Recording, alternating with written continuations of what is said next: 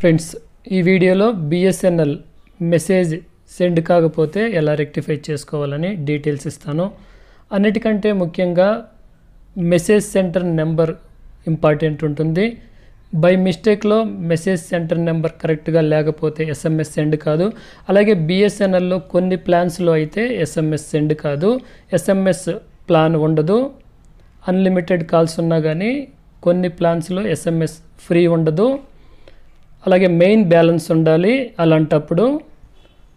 Main balance ఉండి అలాగే SMS free SMS ఉండి మెసేజ్ సెండ్ కాకపోతే ఎస్ఎంఎస్ సెంటర్ నెంబర్ ప్రాబ్లం ఉంటుంది. మీరు చూడొచ్చు ఇక్కడ మెసేజ్ సెండ్ చేస్తున్నా సెండ్ కావటం లేదు. తర్వాత ఇక్కడ మెసేజ్ సెట్టింగ్స్ అని ఉంటుంది.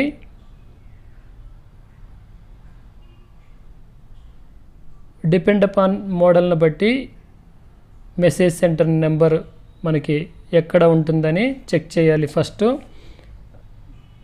చూడొచ్చు ఇక్కడ. ఇంకొక మొబైల్లో ఎస్ఎంఎస్ సెంటర్ నెంబర్ ఉంది కరెక్ట్గా ఉంది. డిస్క్రిప్షన్లో అన్ని స్టేట్లకు సంబంధించిన అన్ని నెట్వర్క్లకు సంబంధించిన ఎస్ఎంఎస్ సెంటర్ నెంబర్స్ ప్రొవైడ్ చేస్తాను నేను. మీరు చూడొచ్చు ఇక్కడ. బిఎస్ఎన్ఎల్ వచ్చేసరికి nine double four two zero double nine double nine seven.